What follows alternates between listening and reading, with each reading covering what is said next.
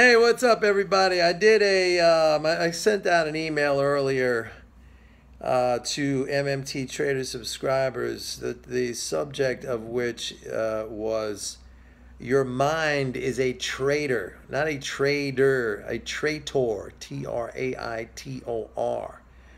Um, and the subject, this is sort of a, well, it was absolutely a mental game uh, email. And uh, it occurred to me that it has been a while since I have done a mental game video. So I decided to do this. So your mind is a traitor. All right. Your mind, you think your mind has your back. Uh, but in actuality, your mind uh, plays into your fears and your weaknesses and your insecurities. All right. And we allow that to happen uh, for a number of reasons. Uh, first off, um, the very primitive part of our mind, the limbic system, which uh, came about, you know, hundreds of thousands of years ago, even before we were uh, Homo sapiens or human beings, we were basically animals, was designed to protect us from threats.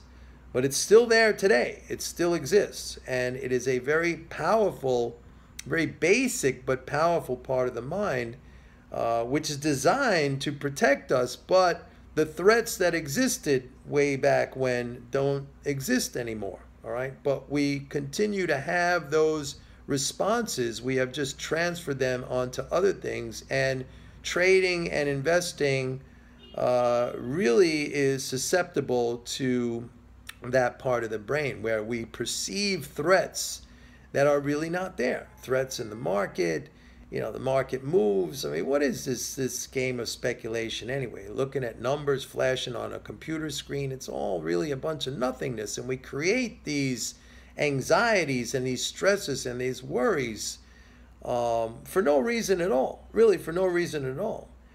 Uh, so that's number one. We do we we have not. Uh, most people have not found a way, or maybe are even aware of the fact that it's the primitive part of their brains that uh, create their problems in the market or in their activities or their endeavor of trading and investing.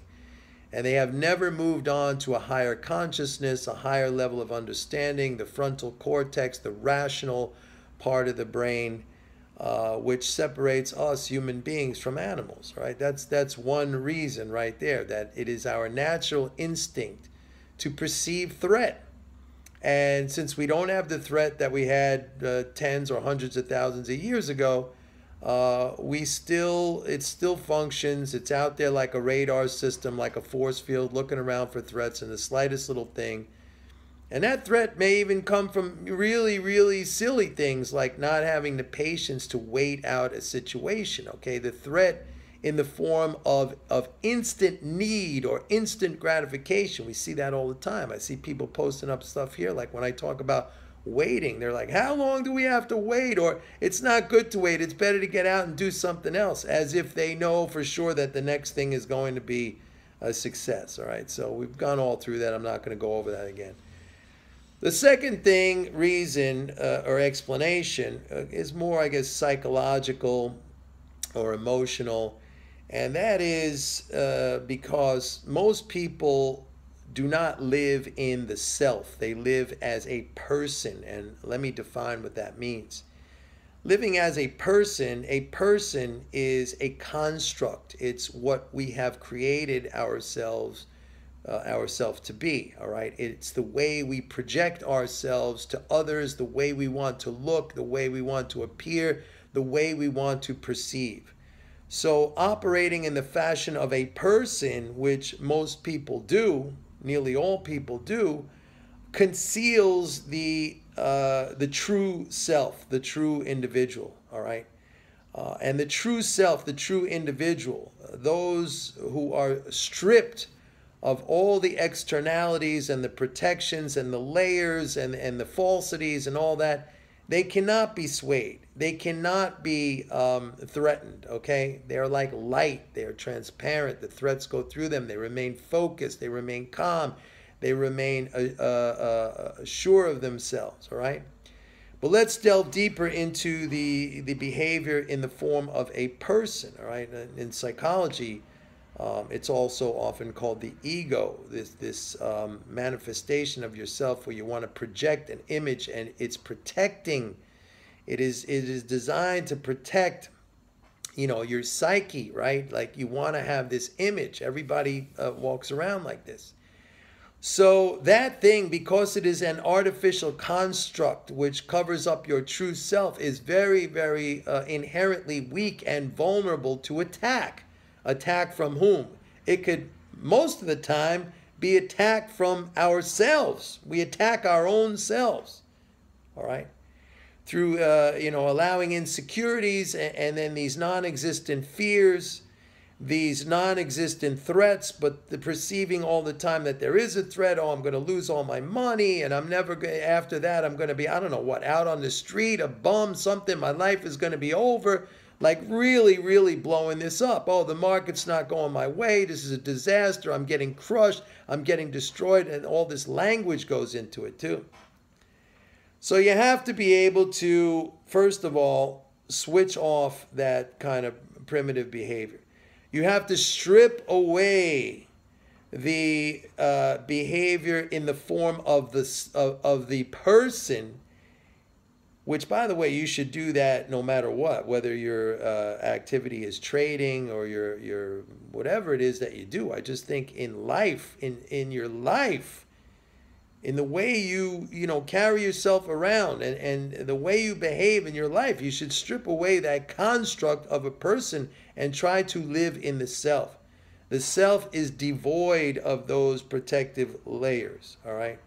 The self is uh, at peace the self is always calm it is always rational there is nothing nothing in the marketplace that is a threat or can ever be a threat in the grand scheme of things Nothing. It's not going to take your life away, okay? In most cases, it's not going to put you out on the street, all right? You're talking about and you know when I when I listen to a lot of you and I've dealt with so many of you as subscribers, many of whom let's say have quit and moved on, that that is a classic example of the person or, or of an individual operating in the form of a person which the the quitting and the moving on and and you know, then then uh, trying to, to knock down. And I'm not saying, you know, I'm just saying that is um, that is rationalization. That is excuse making. That is the protective barriers being kicked in, you know, to work for you to protect the inner that that vulnerability, that ego. You know, yeah, I had to do that because that system was no good. I had to do that, right? The rationalization of the behavior which keeps you from fulfilling or achieving what it is that you are after. Right? And it's all about the mind, folks. That's why I say the mind is a traitor, is a traitor. It betrays you, and you allow it to do that. It's not some. By the way, all exactly, all of this is um, self-determined. Okay, it's not like somebody comes along and zaps you uh, or plugs you into a plug somewhere and then you know you're like a robot and uh, i must behave like this i must be no. This is all self-determined. And i would say 99.9% of the people who walk around this world are like this. I mean we all not me but we all act in the uh, the form of a person as opposed to acting in the form of the self. Strip away the protective layers, all right? Lose the sensitivity to whatever, to what people are going to say to you, to how they perceive you, to, you know, numbers flashing around on a screen okay, to the neediness for immediate results. And believe me, believe me when I tell you, you not only will you make a fortune trading, your life will change for the better. Yeah, your life will change for the better. Absolutely 100%, 1 million percent guaranteed. But um, you got to make that choice and then you got to make it happen. Right? You got to make it happen because I've said it here a thousand times that behavior is habit. A lot of times you have the that bad behavior, you don't even know about it. So the first step is awareness, which I try to provide through these videos. And the next step is changing the behavior, which I teach in my courses and with people who have been with me. And that is that's a known thing. I mean, I have people, you know, they tell me all the time, Mike, you changed my life. You changed everything by listening to what you said and by applying it. So there you have it, folks. The mind, your mind is a traitor. You got to take it under control as opposed to allowing it to control you. All right? See you later. Bye.